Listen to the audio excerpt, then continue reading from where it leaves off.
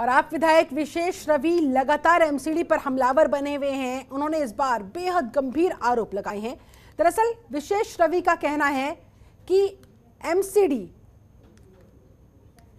बेचना चाहती है दिल्ली के स्कूलों को। बीजेपी और एमसीडी पर उन्होंने जमकर निशाना साधा। एमसीडी की संपत्ति बेचने में लगी हुई है। दिल्ली बीजेपी ये कहना है विशेष रवि का। और कुछ इसी आधार पर आप विधायक लगातार बीजेपी को घेरते आ रही हैं। इस बार उन्होंने कहा कि पैसों के लालच में एमसीडी की संपत्ति बेचने में दिल्ली बीजेपी लगी हुई है। आप विधायक विशेष रवि ने कहा, भाजपा शासित एमसीडी स्कूलों की ज़मीन बेचकर करोड़ों का भ्रष्टाचार करने की तैयारी है। मेरे पास एमसीडी के टेंडर की कॉपी भी है, उनमें चार स्थानों पर पार्किंग बनाने की तैयारी है। एमसीडी ने पहला अजमल खान रोड के लिए एक सौ पचहत्तर करोड़ का, दूसरा न्यू अशोक नगर के लिए एक सौ सड़सठ करोड़ का, तीसरा शास्त्री पार्क के लिए एक करोड़ का और चौथा उषा लेन के लिए एक सौ अड़तालीस करोड़ का टेंडर निकाला है। करोलबाग जैसी प्राइमरी लोकेशन पर 50 गज की ज़मीन भी करोड़ों की मिलती है, लेकिन एमसीडी 4115 वर्ग मीटर की ज़मीन को मात्र 175 करोड़ में बेच रही है। उन्होंने कहा, आम आदमी पार्टी एमसीडी के फैसले का विरोध करती है। करोलबाग की जनता और वहाँ के ज़्यादातर आरडब्ल्यूएस हमारे साथ है।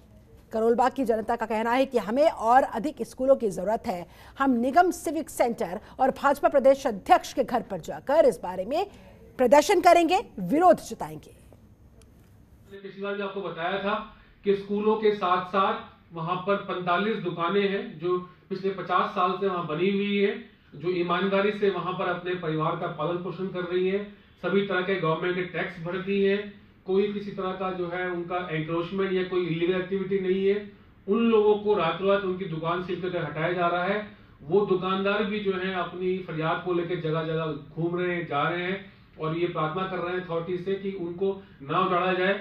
उनको इस तरह से अचानक जो है उनके काम धंधे को खत्म न किए जाए। और वो भी लोग जो है इस पूरे एक तरह से अभी जो आंदोलन बनता जा रहा है करोलबाग की जनता, और ना सिर्फ़ करोलबाग बल्कि पूरी दिल्ली से हमें लोगों के मैसेज आ रहे हैं। लोग कह रहे हैं कि ये काम गलत हो रहा है। तो इस समय आने वाले अगले हफ़्ते के अंदर जैसे ही कोरोना के गाइडलाइन में थोड़ी ढील मिलेगी तो करोलबाग की जनता ने ये तय किया है कि एक बड़ा आंदोलन, एक बड़ा प्रोटेस्ट जो है इसमें किया जाएगा। वो नगर निगम का जो सिविक सेंटर मुख्यालय है, वो वहाँ पर भी होगा, और जो भारतीय जनता पार्टी के अध्यक्ष हैं उनके यहाँ भी होगा। एमसीडी पर लगातार भ्रष्टाचार के आरोप लग रहे हैं। ताज़ा मामला पूसा रोड स्थित एमसीडी स्कूल का है जहाँ एक एमसीडी के स्कूल को की आधी ज़मीन को एमसीडी भाजपा शासित एमसीडी द्वारा मल्टीप्लेक्स पार्किंग के लिए इस्तेमाल किया जा रहा है। ज़्यादा बात करने के लिए हमारे साथ करोल बाग के विधायक विशेष रवि जी मौजूद हैं। सर पूरा मामला क्या है बताइए। देखिए हमने कुछ दिन पहले अजमल रोड पर एक स्कूल को ख़त्म करके वहाँ पर उस ज़मीन को बेच कर पार्किंग प्रोजेक्ट लाने का बंदा उठाया था। और उस समय भारतीय जनता पार्टी के लोगों ने कहा कि ये तो स्कूल बंद हो चुका है दो साल पहले, यहाँ कोई बच्चा नहीं है और यहाँ कोई बच्चे का किसी का नाम नहीं है, सबको हमने शिफ्ट कर दिया, इसलिए हम पार्किंग प्रोजेक्ट ला रहे हैं। हालाँकि ये भी गलत था। अब लेकिन आज जो हमने आज मुद्दा उठाया है, वो ये है कि पूसा रोड के ऊपर एमसीडी प्राइमरी स्कूल के नाम से एक स्कूल इनका चल रहा है। लगभग छः हज़ार स्क्वायर मीटर की जगह में स्कूल बना हुआ है। इस स्कूल के अंदर से इन्होंने 3500 स्क्वायर मीटर की जगह स्कूल, चलते हुए स्कूल की जगह में से निकाल कर वहाँ भी ये पार्किंग प्रोजेक्ट ला रहे हैं।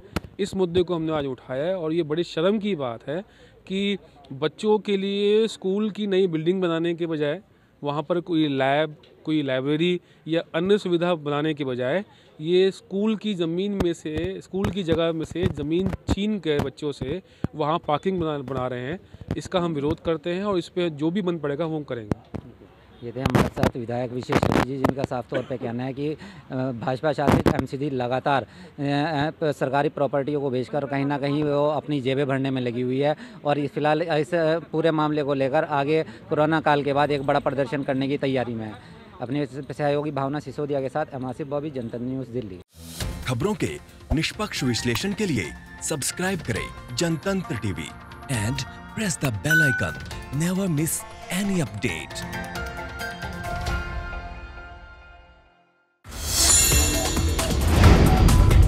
Download the Janatantra TV app, available on Google Play and App Store. Download it now.